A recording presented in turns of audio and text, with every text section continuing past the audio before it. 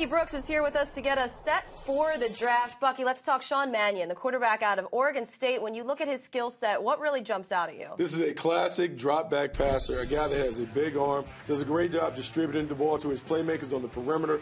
Playing at Oregon State in a pro style system, he really excelled when he had weapons on the outside.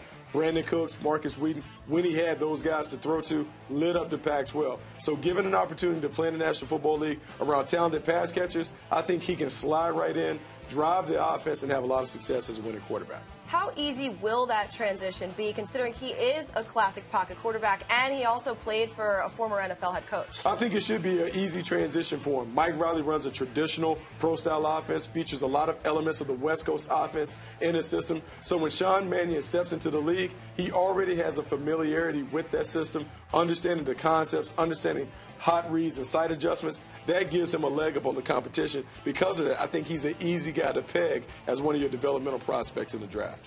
Who do you liken him to that's playing right now in the NFL? He reminds me of Mike Glennon when Mike Glennon was coming out of NC State. Watching Mike Glennon at State, played in the pro system. Because of that, he was able to have some success at Tampa. Even though it didn't reflect in the record, I thought he played the game in a winning fashion.